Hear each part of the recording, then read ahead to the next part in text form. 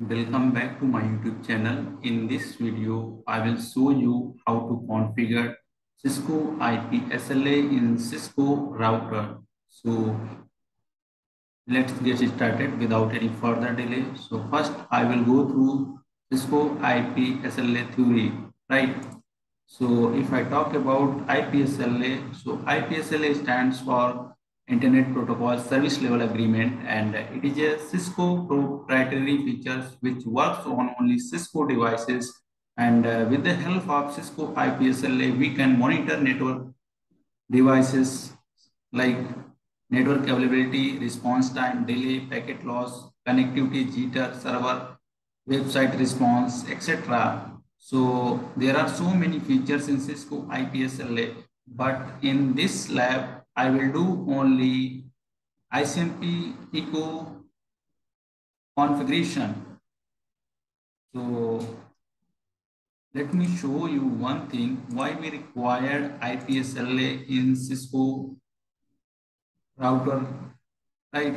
Why do we need Cisco IPSLA?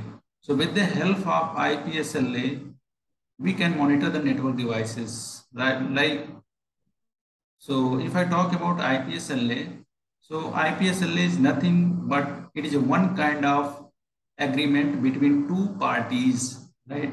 Let's suppose this is the customer router, right? This is the customer and this is the ISP, Internet Service Provider.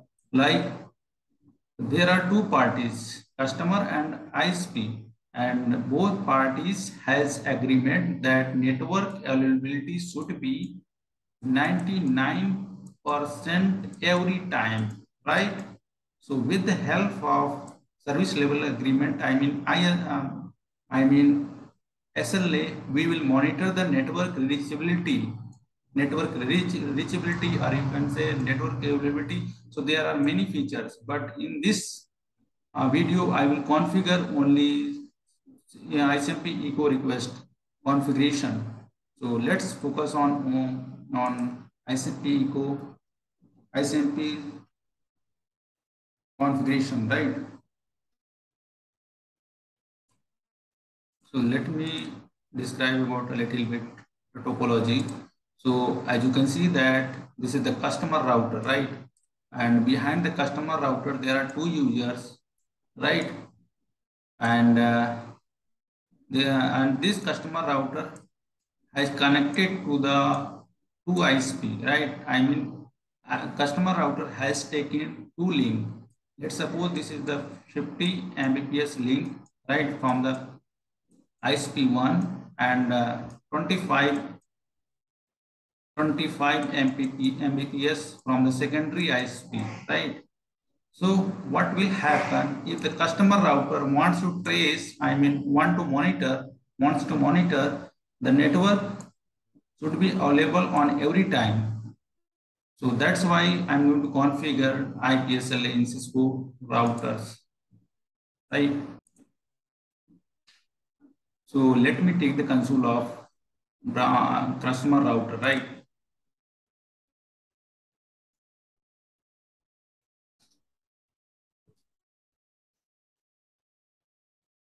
To IP interface brief. As you can see that this interface has connected to the primary ISP, right? And this interface, I mean 3 by 0 is connected to the secondary ISP, right? And this interface has connected to the switch, right? Inside the LAN, right? So as you can see that I haven't configured till now IPSLA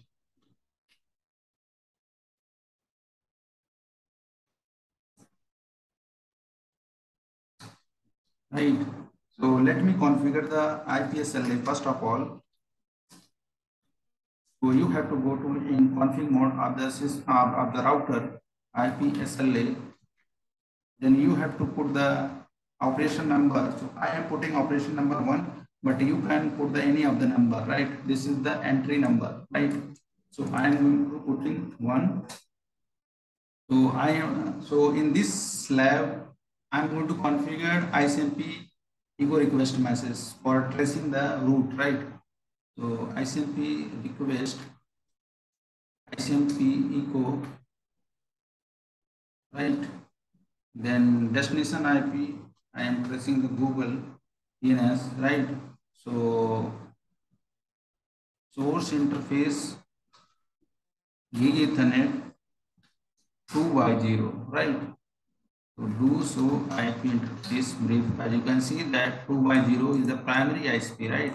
That's why I have put it 2 by 0, right? Then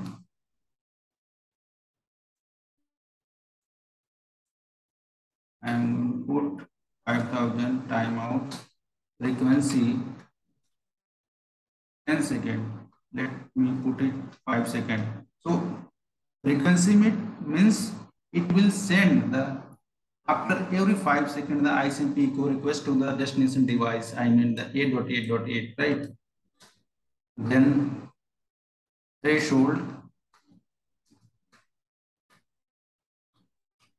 threshold I am putting the 500, right? So it IP SLA then scheduled I am putting the schedule one start time right now live forever every time right? But you can configure as your as per your requirement right?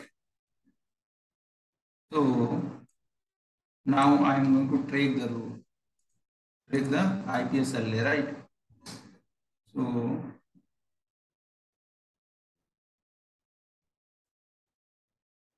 then I have to exit, then I am going to track this route, right? Primary ISP and secondary ISP as well. So exit, if I show you the configuration, so IP SLA configuration. So as you can see that here is the configuration, right? What I have configured. If I show you, so track so as you can see that at this time, reachability is up, right? Because both are the links are up. I mean, ISP links right now up, right? So let me show you one thing.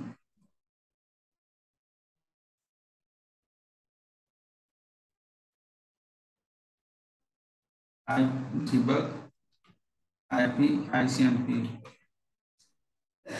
you will see after five seconds, this machine will generate the ICMP request, right? Get the ICMP request message from the customer router. Just wait five seconds.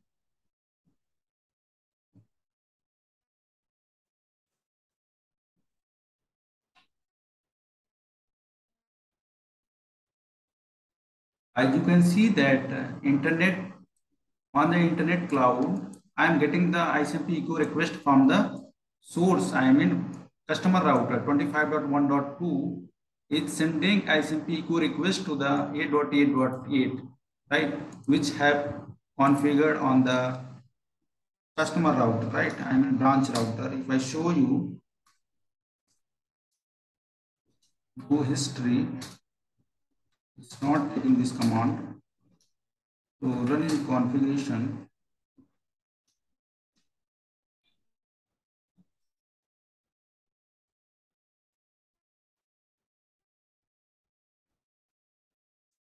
So IP SLA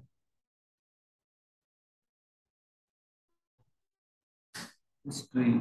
So IP SLA configuration. As you can see the target address is 8.8.8, right? And source address, source interface is 2 by 0, which is connected to the customer router, right? So as you can see that on ISP router getting the ICMP echo request message. So I'm going to disable the debug and debug or debug command. So let me put the ping 8.8.8.8. So as you can see that traffic is fine right now, right? So let's suppose if the primary link in case of goes down, then what will happen? So let me down the gig 2 by 0 interface of the customer router.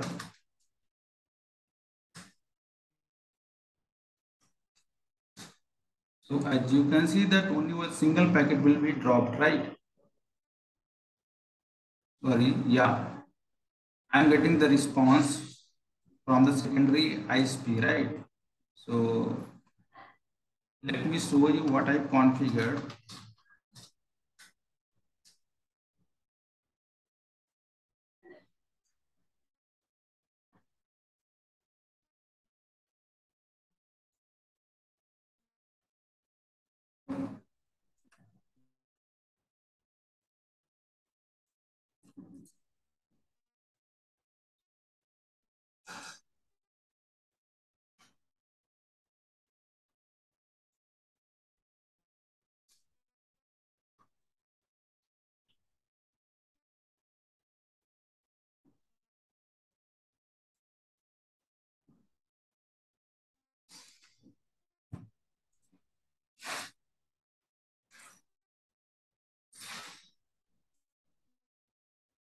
So that's how we configure Cisco IPSLA, right? So if you want to trace any of the route, so you can configure like this.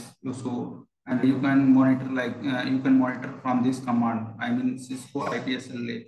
So this is the very good uh, features in Cisco IP uh, Cisco devices that Cisco provides to monitor the network devices, right? Right. So that's all about uh, Cisco IPSLA configuration. So if you have understood anything from this video, so please, please like and share and su subscribe my channel too. Thank you for watching this video.